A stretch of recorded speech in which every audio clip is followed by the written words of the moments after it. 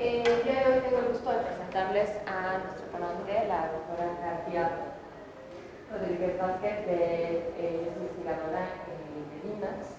Y eh, bueno, realmente eh, estoy conociendo con ustedes, para mí ha sido un gusto, un gusto enorme conocerles. Ella eh, nos va a presentar realmente, diría yo, más una, una herramienta utilizada en los sistemas complejos, más que si posiblemente una aplicación o un tema concreto, sino nos va a presentar eh, una herramienta que se utiliza en sistemas complejos, eh, que es eh, realmente el, cómputo evolutivo. Y bueno, durante la plática, pues no si alguien tiene dudas, obviamente puede ir preguntando en el momento o si quieren al final hacemos la sesión de, de preguntas, ¿no? Este, pues bueno, los dejo con Gracias. Buenas tardes. Eh, la plática va a estar enfocada hacia las líneas de investigación, eh, hacia el campo de lo que es el cómputo evolutivo y unas aplicaciones en el área de la bioinformática. En la bioinformática ahorita, bueno, se tienen grandes cantidades de datos y este tipo de herramientas de lo que es cómputo evolutivo, machine learning, son, eh, están siendo aplicadas a este campo y están dando muy buenos eh, resultados, más que eh, hablar un tanto de lo que es sistemas complejos, pero sí entraría mucho en la parte de sistemas complejos. Para iniciar, básicamente lo que son los algoritmos eh, bioinspirados y los algoritmos del cómputo evolutivo son métodos que tratan de imitar o están inspirados en procesos y sistemas naturales. Entonces vienen de la, toman ideas prestadas de la biología para generar algoritmos de computadoras. Una de las cuestiones que hubo en la parte de lo que son los algoritmos genéticos eh, desarrollados por Holland, Holland, la idea inicial de él era poder explicar lo que fue la evolución, pero la evolución tiene tantas variables y es tan complejo que al final las investigaciones derivaron en lo que es un algoritmo inspirado, que es el algoritmo genético. Teniendo esta gama de técnicas, de métodos, se han aplicado, ahora vamos a la inversa, de lo que es el cómputo a problemas biológicos, para tener lo que ahora conocemos como bioinformática. De manera general, los pasos de un algoritmo evolutivo, eh, y aquí hablo de algoritmos evolutivos o cómputo evolutivo, y dentro de esto hay varias técnicas, pero todas ellas conservan estos pasos, parten de una población inicial, no requerimos información del problema que queremos resolver, del sistema que estamos eh, analizando, lo que vamos a hacer es crear una población aleatoria de soluciones. Si nosotros tenemos información, podemos sembrarla en esa población inicial, pero no es un requisito. Vamos a evaluarla de acuerdo a algo que nosotros estamos buscando, queremos encontrar, y eso nos va a dar de alguna manera una medida de qué tan buena es esa solución que se está proponiendo. Inicialmente van a ser muy malas, pero dentro de esas malas van a haber unas no tan malas, con lo cual vamos a aplicar un método de selección que es eh, la propuesta de Holland, es un método de selección proporcional a su aptitud, a qué tan bien está resolviendo el problema para tener individuos, poderlos cruzar, mutar, que viene siendo en el, en el apartado de alterar, y aquí lo pongo así general, porque hay algunas técnicas que nada más manejan un tipo de operador, otras manejan dos, y volver a estar iterando en este ciclo y se espera que cada generación la solución se vaya adaptando al problema. Entonces, como si fuera una población que se va adaptando a su medio ambiente, donde el medio ambiente viene siendo el problema que se quiere resolver. Eh, en este caso, podemos tener poblaciones binarias, poder representar una solución con ceros y unos, donde cada renglón me está representando una solución. Eh, como estamos hablando de un alfabeto binario, los valores que puede tomar, que son los alelos, son ceros y unos. Y las columnas vendrían siendo el número de genes o el número o un conjunto de genes me puede, o un conjunto de bits me puede dar un gen, una variable. Eh, me fui, me regresé. En este caso, si nosotros queremos, y esa cadena binaria la podemos mapear a cualquier dominio, valores reales, valores enteros o algún otro tipo de variable que no sea precisamente un valor real, un valor entero, eh, pueden ser variables de decisión, pueden ser cierto o falso. Y lo que necesitamos hacer básicamente es interpretar esta cadena binaria, decodificarla, mapearla en el rango de las variables con las que estoy trabajando en mi problema y poder evaluar mi función. Si nosotros queremos hacer una, eh, un match con la parte natural, esa cadena binaria podemos verla como si fuera el genotipo y las variables reales, en este caso, que es un problema de optimización paramétrica, serían el fenotipo. Entonces, esa cadena binaria la estoy dividiendo en dos subcadenas y cada subcadena viene siendo uno de los valores reales que son, eh, que en su conjunto me estarían dando el fenotipo. Entonces, ya eh, si hacemos la, decodificación, el mapeo de genotipo a fenotipo, podemos tener estos valores, donde cada renglón es una posible solución y tengo x1 y x2 que vendrían siendo las variables ya en el dominio del problema. Yo puedo sustituirlas en la función, encontrar el valor de la función y qué es lo que quiero hacer, maximizar o minimizar la función. Si yo la quiero minimizar, el segundo individuo sería el mejor. Por lo tanto, va a tener una probabilidad mayor de que se seleccione para crear nuevos individuos. ¿A partir de qué? A partir de esa codificación binaria que, me está representando ese individuo. Si quiero maximizar, pues obviamente el individuo 1 sería el mejor. Y de esa manera yo puedo seleccionar. Eh, en el caso del algoritmo genético simple, Holland propuso una selección proporcional y la presenta como si fuera una ruleta, en la cual la ruleta, eh, las rebanadas no son iguales, sino dependen de qué tan, bien, qué tan buena es la función en comparación de la aptitud total de toda la población. Entonces, en función a eso, estamos asignando las ranuras en la ruleta, podemos girarla, generar un aleatorio, ver dónde cae y sería el individuo a seleccionar. Aquel individuo con, con una mejor aptitud, una ranura mayor, pues va a tener una mayor probabilidad. Ya una vez teniendo seleccionados los individuos, podemos cruzarlos la cruza más sencilla es en un punto, seleccionar un punto en forma aleatoria a lo largo de la cadena e intercambiar subcadenas. La idea aquí es de que si se, están seleccionando los individuos más aptos al momento de cruzar, los hijos van a heredar características de los padres a los hijos, de las buenas soluciones, que vendrían siendo de alguna manera la parte de la intensificación en la búsqueda. La parte de mutación lo que vamos a hacer es bit por bit eh, generar un número aleatorio. Si hay una cierta probabilidad de mutación, si es menor lo vamos a mutar. Aquí tenemos un alfabeto binario y lo que haríamos cambiar de 0 a 1, de 1 a 0. Y lo que estamos haciendo aquí es la diversificación en la búsqueda. Pero no podemos tener también directamente la codificación real. Cada renglón es un individuo y ahora ya no tengo cadenas binarias, sino tengo valores reales. Y esto me lleva a que en este tipo de codificación, el genotipo y el fenotipo, esa cadena binaria, con la decodificación y el mapeo hacia los valores reales, ya serían uno solo. Ya no tengo esa cadena binaria. Entonces mi fenotipo y genotipo sería lo mismo.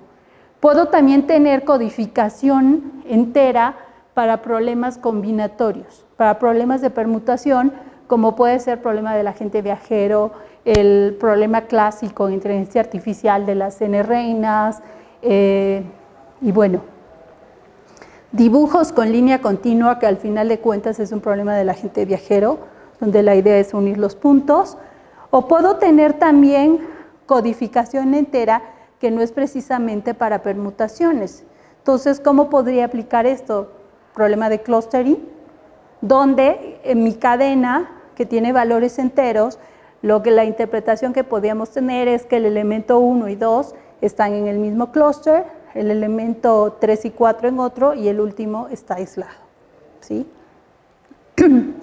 De acuerdo a las codificaciones binaria, entera, real, o entera para problemas que no son de permutaciones, vamos a tener también asociados eh, el tipo de operador para poder modificar esas estructuras e ir evolucionando al paso de las generaciones.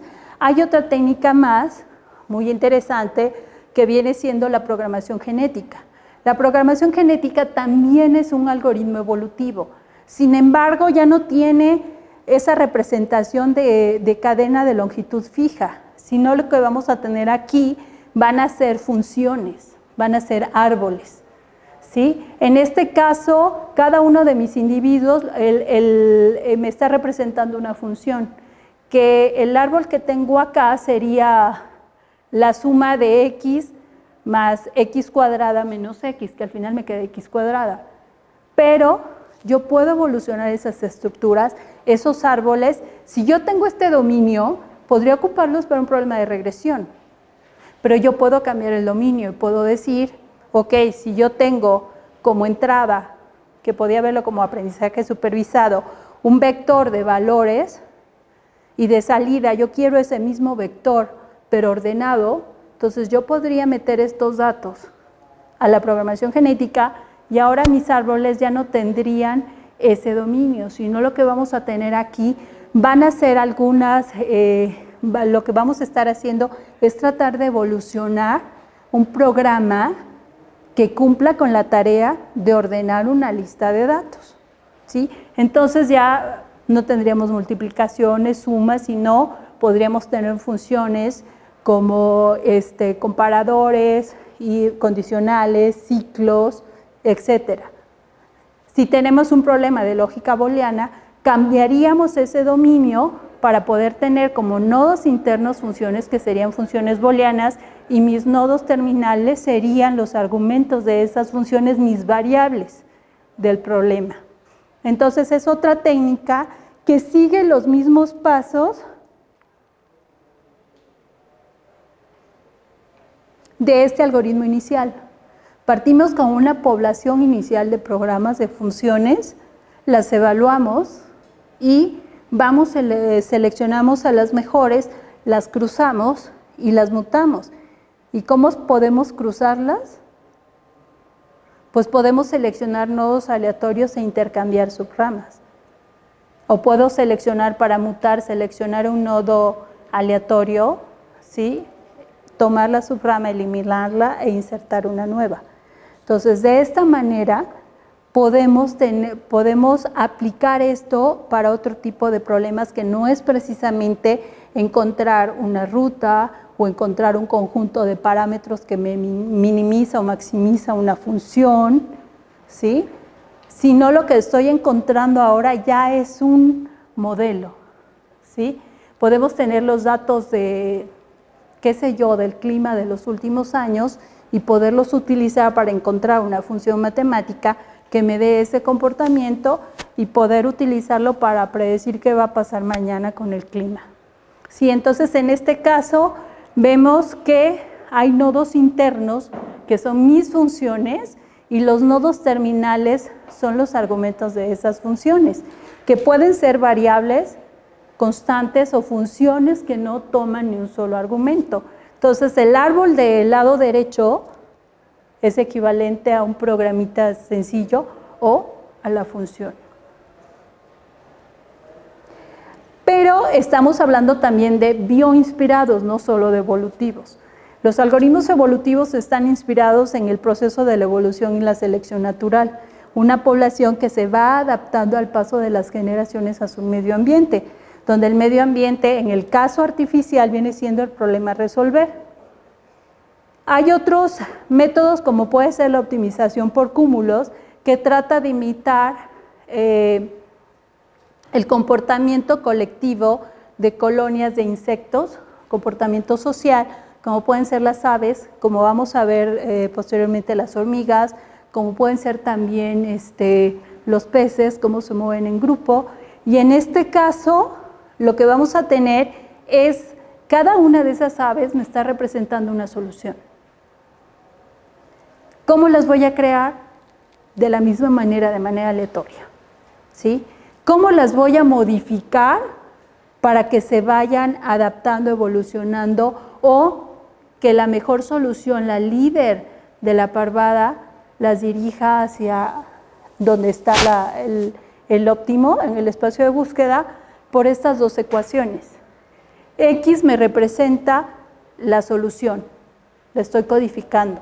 Entonces tengo varias partículas y cada vector X es una posible solución.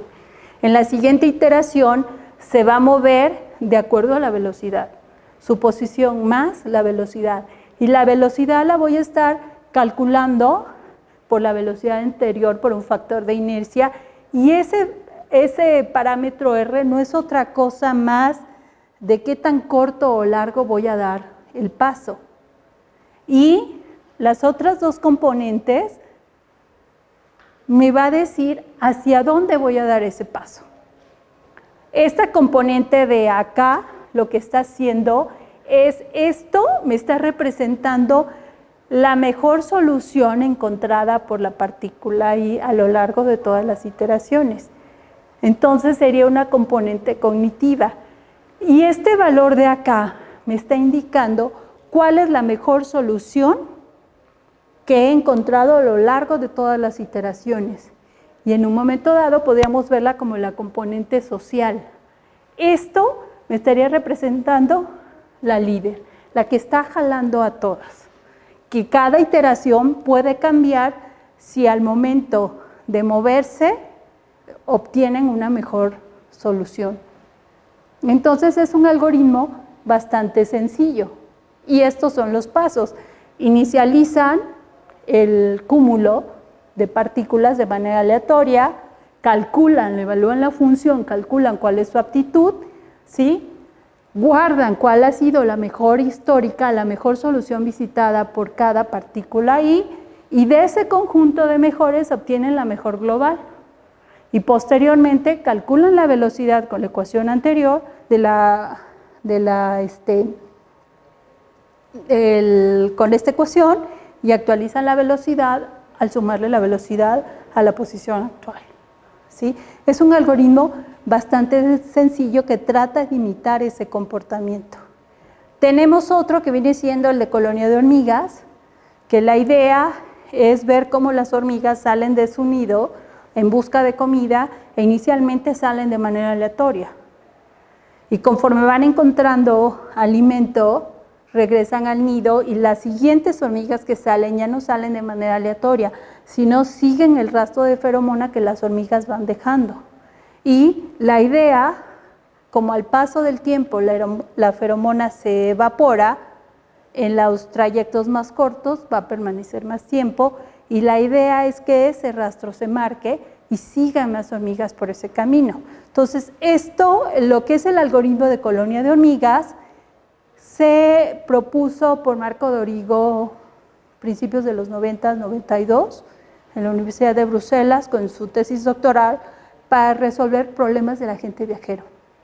Muy casado con la parte de problemas de ruteo. Y aquí creo que se atoró esto.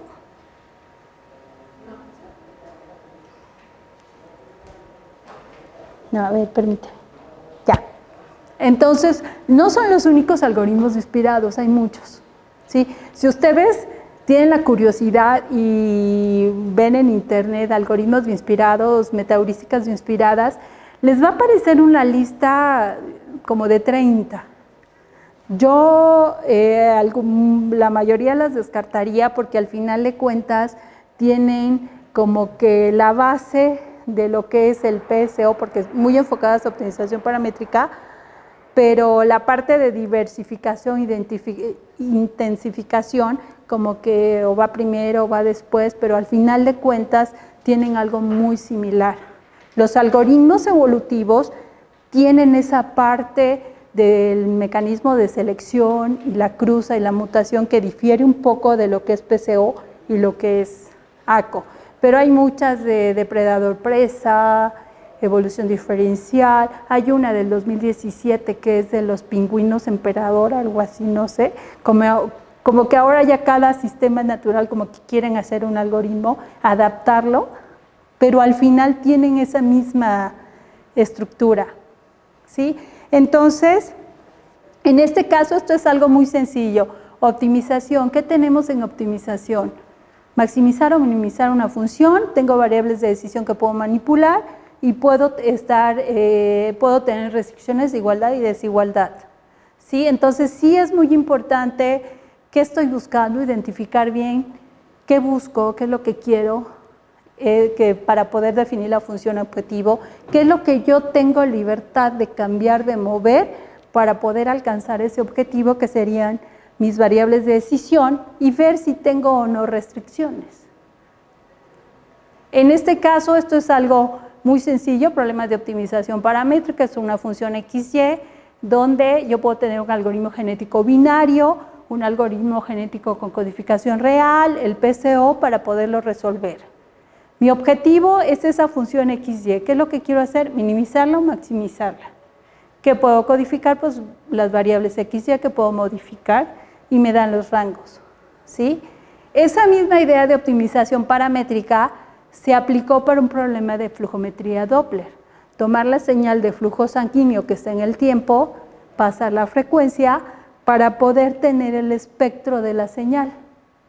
En este caso, se puede utilizar una codificación binaria porque lo que se utilizó fue un modelo de covarianza modificada, aunque se puede, se puede utilizar transformada de Fourier, rápida de Fourier, se puede tener una codificación binaria real, real con el PCO. Y aquí se hizo un comparativo de la señal que se está tomando en el tiempo, la transformada frecuencia por el método de covariancia modificada, la de Fourier y la del algoritmo genético, dice PGA porque se hizo paralelo. Como esto se requería en tiempo real, los algoritmos inspirados, al estar basados en una población e iterar por varias generaciones, entonces no son precisamente algoritmos para, para aplicarlos en problemas que requiere tiempo real. Aquí lo que se hizo fue un módulo que adquiría la señal, eh, se aplicaba el pasaban esa ventana de datos al módulo del algoritmo evolutivo, donde se tenía un pequeño esquema paralelo para agilizarlo y se utilizó codificación real para evitar el mapeo de genotipo-fenotipo y la salida se mandaba al módulo de despliegue. Entonces, mientras la, ventana, la primera ventana se estaba desplegando, se estaba procesando la segunda y se estaba adquiriendo la tercera. Y de esa manera se hizo para poder generar un espectrograma. Cada barrita es una ventana y los colores están indicando frecuencia central, amplitud, etcétera, ancho de banda. Entonces, de esa manera se desplegaba en el tercer módulo, se procesaba la, ventana dos tiempos, eh, que se adquirió dos tiempos atrás en el segundo y se estaba adquiriendo la siguiente. Entonces, de esa manera se iba generando la, el espectrograma. Cada barrita es un espectro y el conjunto pues es el espectrograma. Entonces de aquí tenemos procesamiento de señales médicas, que es de flujo sanguíneo, pero después tenemos aquí este caso de datos biológicos y datos biológicos tenemos bueno, una cantidad enorme. Entonces, la bioinformática eh, la podemos ver como ciencia de datos, ciencia de datos biológicos, donde necesitamos eh, área multidisciplinar necesitamos de estadística, de ciencias de la computación, de matemáticas y por supuesto de biología, y la biología es muy amplia, entonces depende también eh, lo que queremos analizar. En el 95, a raíz de todos estos eh, secuenciadores, en el 95 se secuenció el primer genoma completo de un ser vivo, que este, fue una bacteria y tenía casi 2 millones de pares de bases. En el 2003 eh, eh, fue el genoma humano que tiene 3.200 millones de pares de bases. Entonces actualmente hay como 15.000 eh, bichos secuenciados, pero eso es casi nada de todos los seres vivos. Y creo que fue más o menos en el 94 más o menos, Jim Bank era esto. Toda la información que tenía Jim Bank estaba en un CD. No sé si todos conocen el CD. Yo creo que sí, pero esa es la información y la podían pedir y se las enviaban y llegaba en un CD porque era todo lo que tenía. Ya ahorita, bueno, le das clic y no es solo Jim Bank, es que y hay múltiples bases de datos con datos biológicos. Entonces, ¿qué pasa allí? ¿Sí? Tenemos, ya cobra importancia el uso de técnicas de machine learning, de inteligencia artificial, estos algoritmos inspirados para poder resolver este tipo de, problemas. Entonces, estamos trabajando en la parte de alineamiento de secuencias, secuencias de ADN, donde yo tengo mis cuatro bases, adenina, guanina, timina, citosina, y puedo tener también los polimorfismos, donde sé que hay una, una adenina y una guanina, pero no sé cuál de las dos, etc. Entonces, ¿qué es lo que quiero en la parte de alineamientos? ¿Qué es lo que estoy buscando? Lo que quiero hacer es minimizar el número de observaciones, el número de eventos que puedo tener en el alineamiento, en el cual un evento lo puedo ver como una mutación, si tengo todo, toda mi columna alineada, pero una de las bases que está allí no corresponde al resto, en lugar de una A tengo una T. Quiero minimizar también la inserción de gaps y quiero minimizar también de alguna manera las de lesiones, si yo tengo toda mi columna con A, pero en alguna de ellas no aparece, entonces lo que yo quiero es minimizar eso. Y al final de cuentas lo que tengo es un problema eh, de optimización. ¿Qué puedo manipular al momento de alinear los gaps, la inserción de gaps? Yo puedo quitar e insertar gaps. No puedo modificar las secuencias. ¿Sí? ¿Puedo tener restricciones? Sí, puedo manejar como el incremento en columnas porque si yo digo que si una base está alineada con un gap, un bloquecito, pues este, le voy a dar un puntaje alto. Entonces, ¿qué es lo que puedo hacer? Tengo la primera secuencia y las alineo escalonadas. Entonces va a crecer mucho en columnas y eso pues no es un buen alineamiento. Esto es una, eh, lo tomamos de SIDA, de las notas, y están dos secuencias chiquititas y hay cuatro alineamientos. En el primero de ellos, a eso me refiero con la parte de eventos, lo que puedo hacer, manipular, es insertar los gaps. ¿Sí? ¿Cuántos eventos tengo? Tengo esta inserción de ese gap. Si son gaps continuos, se considera como uno. Tengo este otro de acá, tengo este otro de acá y tengo uno arriba. Entonces tengo cuatro gaps. ¿Sí? Y todos los demás está alineado. En la siguiente, yo tengo dos gaps y tres mutaciones estoy cambiando en el primer asterisco de TAC, en el segundo de AG y en el tercero de GAC. En este otro caso también tengo cinco, tengo cuatro mutaciones y un gap. Y en este otro caso tengo tres. Entonces yo ya sé qué estoy buscando y qué puedo manipular. Y si yo quiero minimizar el número de eventos, el número de inserciones, de lesiones, ¿sí? Entonces podría aplicarlo con un método de este, algoritmos de bioinspirados o machine learning. ¿Qué es lo que se propuso como la función a optimizar? Es un criterio en el cual yo quiero maximizar la identidad en columnas que estén bien alineados. Y eso puedo hacerlo con la entropía, el inverso. Puedo tener la inserción de gaps, donde es un promedio del número de gaps y el tamaño de los gaps. Y la última viene siendo el incremento en columnas. Sí, debo decir que estos pesos se hicieron eh, a prueba y error. Que es el. Entonces aquí más o menos está lo que nos da. Si yo tengo todas bien alineadas, pues tengo uno. Si aquí tengo un gap, tengo punto 81 pero si en lugar de gap tengo una base, aumenta ligeramente. Si tengo una columna de puros gaps de cero, la puedo eliminar. Y de esa manera se va calculando el score. de cada una de las columnas de mi alineamiento.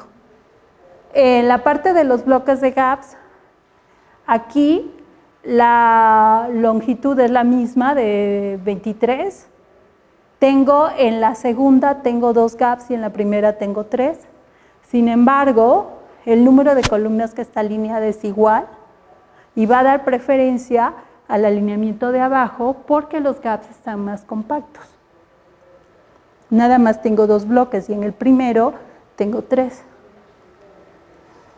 Sí, y aquí básicamente es por el incremento en columna. Lo que yo quiero también es que no se extienda tanto la parte de alineamiento.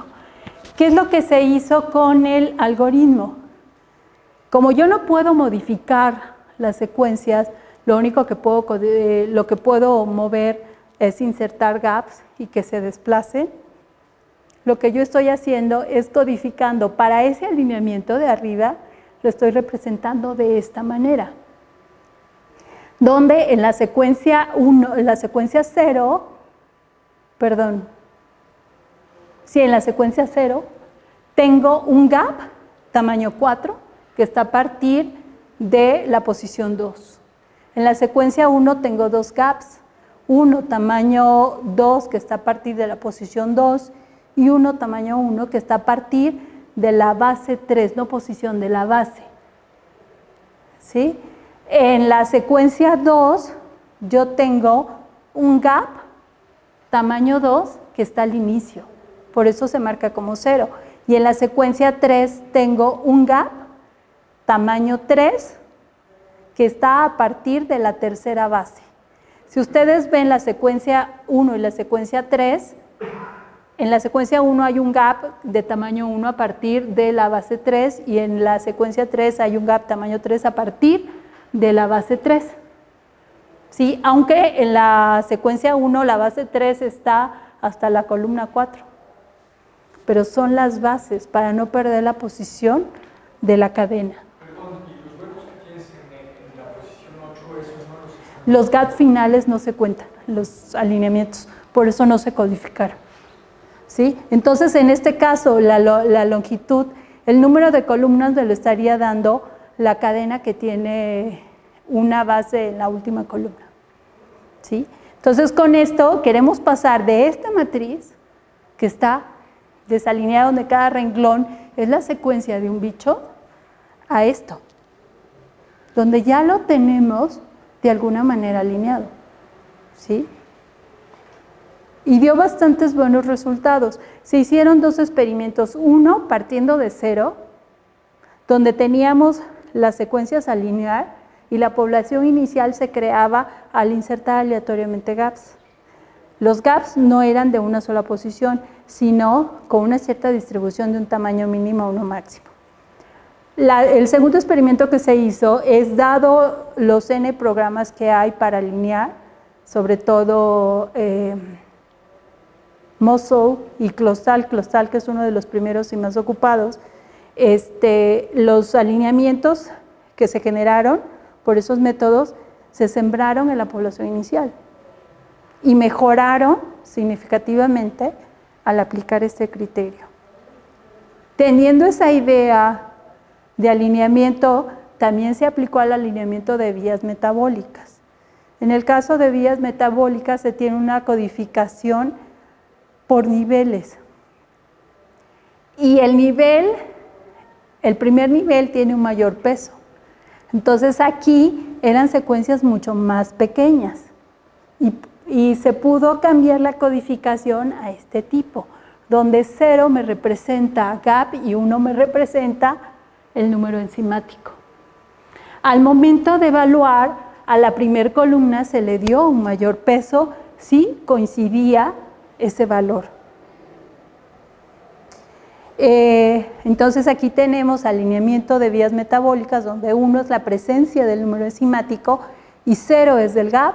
La función objetivo fue similar a la que se propuso para el alineamiento de secuencias de ADN y las variables de control vienen siendo los gaps. ¿sí? Aquí, en el caso de alineamiento de vías metabólicas, dada la codificación, se propusieron diferentes operadores de mutación, insertar un gap, borrar un gap, crecer un gap, decrementar un gap o desplazar un gap. En el caso de las vías metabólicas, se propuso también el operador de cruza, donde yo puedo cortar de manera horizontal o intercambiar renglones para tener nuevos individuos. Y bueno, en este caso de las secuencias de ADN también puedo tener el alineamiento de secuencias de aminoácidos. Lo único que tengo que hacer es cambiar ese alfabeto de cuatro bases por los 20 aminoácidos. Y sigue la misma lógica. Pero no es el único problema en la parte bio, también tenemos la parte de plegamiento de proteínas. Y el modelo lo podemos simplificar a un modelo HP eh, que vendría siendo hidrofóbico al clasificar los aminoácidos por los que son hidrofóbicos y los que son polares y hay una interacción entre los eh, aminoácidos que son hidrofóbicos. Entonces aquí tendría una cierta energía. Y la idea acá es minimizar la energía. Entonces, ¿qué es lo que yo puedo tener? Mi secuencia de aminoácidos, aquí es una secuencia de seis aminoácidos, pero son de cientos. La codificación que puedo tener es la, la que aparece de 2, 1, 1, 4, 3. ¿Qué es lo que puedo hacer? Derecha o 0 grados, 90, 180 y 270. Y si yo esto lo pongo sobre la secuencia, estoy iniciando con el aminoácido H, tengo un 2 que viene siendo hacia arriba, entonces ese aminoácido P sube, después tengo un 1 que es hacia la derecha, se va hacia la... Ah, no, creo que está mal. Bueno, por aquí hay algo mal. ¿eh? No, no corresponde, hay algo mal por allí, pero es el tipo de codificación que esto podríamos incluirlo sobre la secuencia de aminoácido para generar la estructura plegada. Y podemos tener una serie de combinaciones hasta poder llegar a la de mínima energía. ¿Sí? ¿Qué es lo que puedo aplicar acá? Si yo estoy utilizando un algoritmo genético, pues voy a minimizar la energía. Donde cuando hay una interacción de dos aminoácidos HH, se da una energía de menos uno. Entonces voy sumando esas interacciones hasta encontrar la estructura de menor energía. Este es el modelo simplificado. Puedo tener esto mismo en 3D. Puedo también tener un una este, eh, triangular 45 grados y también 3D. O puedo tener ángulos libres donde ya no tendría una codificación discreta, sino la tendría continua en el rango de los ángulos. Y también podemos tener la parte del uso de este tipo de técnicas para la clasificación de microarreglos, donde tenemos secuencias de la expresión de genes para poder determinar alguna enfermedad y en este caso se hizo un estudio sobre tres bases de datos. Uno es cáncer de colon, próstata y cáncer de mama. El único detalle con esto, que se tienen muy pocas secuencias, 100, 200 secuencias de 15.000 genes. Y sin embargo, hizo muy buena clasificación. Y también se ha utilizado la parte de programación genética para la generación de reglas, reglas predictivas. Poder tener como funciones operadores lógicos, comparadores, para poder decir si el atributo 1 es mayor a un determinado valor o el atributo 2 es igual al valor 2 y además el atributo 3 es menor que el atributo 1, entonces pertenece a una clase. Esto se hizo con una información sobre eh, distribución de especies en zonas biogeográficas. Entonces lo que se hacía inicialmente, sí, bueno, cualquiera, es tener, digamos, la República Mexicana, puede ser la Ciudad de México, puede ser la zona del Pedregal de la Reserva, poder tenerla dividida en grids y generalmente tienen registros de, de, cada grid, de la información que hay de flora, fauna, clima, tipo de suelo, etc. Pero hay algunas regiones que no se tiene información, algunos grids. Entonces, eh, aplicaban un modelo en el cual decían, si de este grid que tiene ocho vecinos, el 70% tiene una determinada especie, entonces la probabilidad de que esté en eso que desconozco que hay es muy alta. Y la marcaban bajo cierto umbral, umbral como si está la especie. ¿Qué es lo que se hizo acá? Generar esas reglas para en un momento dado, ¿qué pasa en la Ciudad de México? La mancha urbana va creciendo. Entonces, algunas especies se van desplazando. Y no solo en la Ciudad de México, en provincia también. Sí, que hay pueblos, está el bosque, pero va creciendo, entonces los pobres venaditos se van relegando. ¿Qué es lo que pasa? Yo puedo encontrar bajo estas reglas una zona con características similares donde, no sé, quizás podría, se podría migrar ese, un determinado bicho a otra zona que tiene características similares de flora, fauna, clima, suelo, que tiene características similares de otros bichos y de la interacción que hay con, con otros bichos para que pueda sobrevivir. Entonces se generaron ese tipo de modelos con la técnica de programación genética. Entonces aquí estamos hablando de biología y biología en diferentes, eh, eh, en diferentes líneas Estamos hablando de computación, estamos hablando de inteligencia artificial, estamos hablando de este, estadística donde todo se está integrando para darle solución a un problema que sí involucra muchas variables, que sí tienen cierto grado de complejidad y eh, esto, esto nos ha llevado a que tenemos algoritmos. Lo vimos ahorita la parte de algoritmos inspirados, generalmente en problemas bios, muy enfocado a problemas bios, pero de diferentes características y de diferentes codificaciones. Entonces, este tipo de técnicas son muy robustas, hay diversidad de codificaciones, los campos de aplicación son muy vastos, no solo en biología. Eh, la ventaja que tiene es que no se requiere información del problema, facilidad de poderlos extender a problemas multicriterio, donde ya no estamos evaluando una sola función, sino un conjunto de funciones de manera simultánea, y la facilidad también de paralelización, como lo vimos en la generación del espectrograma. Esto se me hace muy interesante desde el, desde el área de lo que es el cómputo evolutivo, una iniciativa del grupo del centro Beacon, donde están eh, atrayendo la parte de biólogos, eh, están atrayendo a biólogos, a computólogos, a ingenieros, a estadísticos de diferentes áreas para, poderle, para poder darle solución a problemáticas reales. ¿sí? Esto está, según tengo entendido, en la Universidad de Michigan, ¿sí? Universidad de Michigan.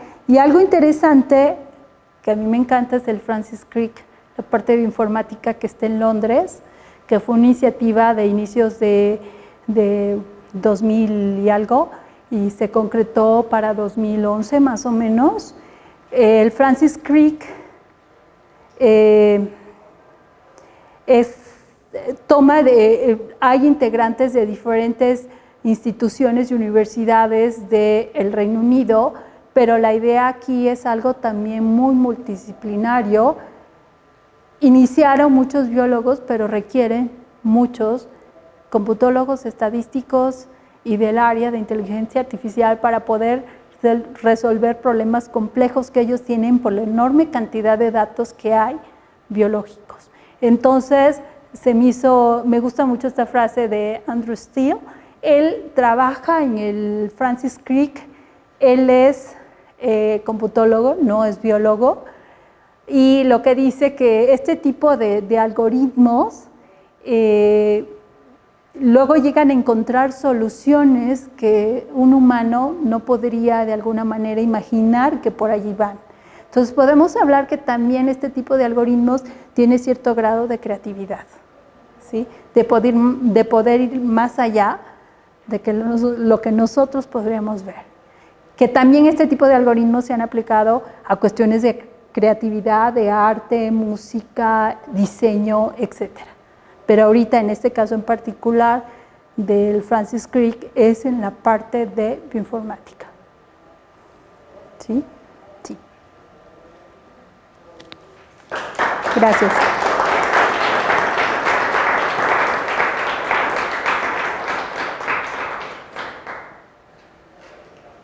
Bueno, ¿alguien tiene preguntas?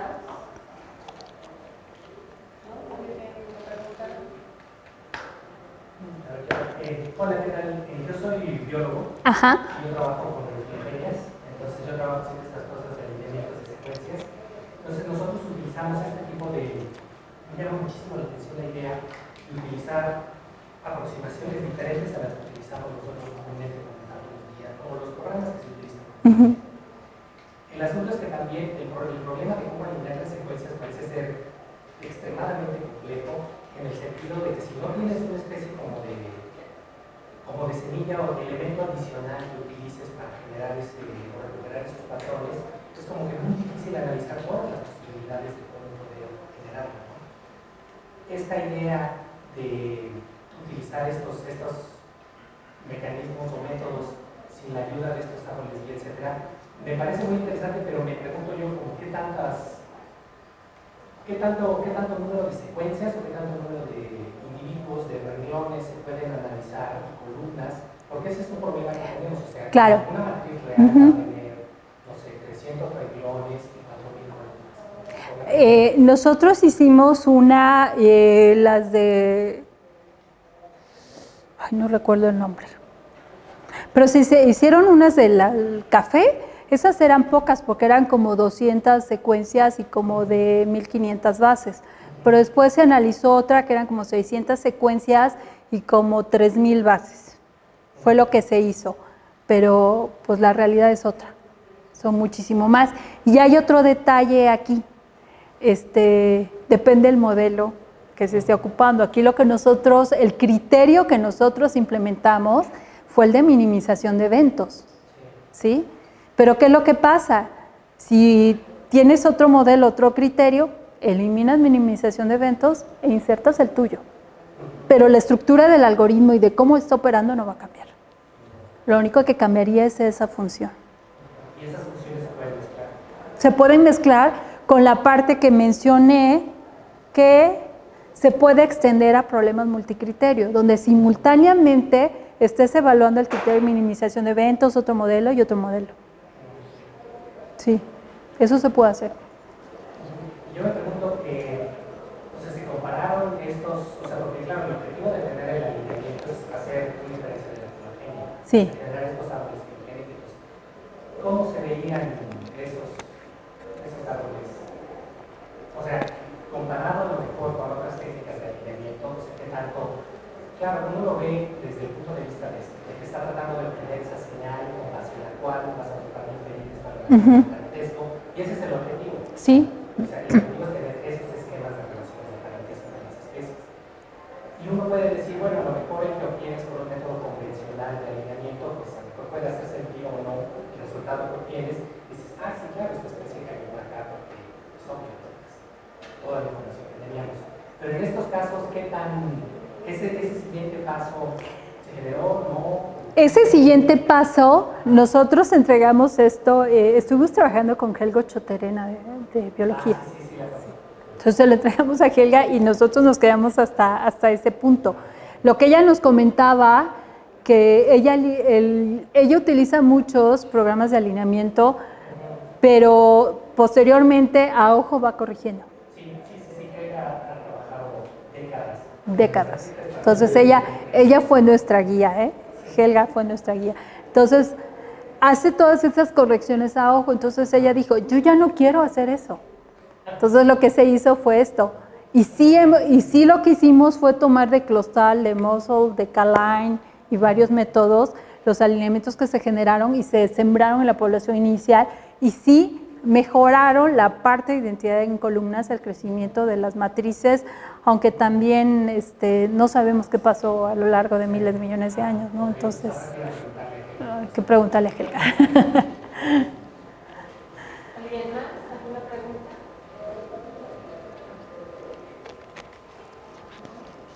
Bueno, gracias. Muchísimas gracias. No, a ustedes.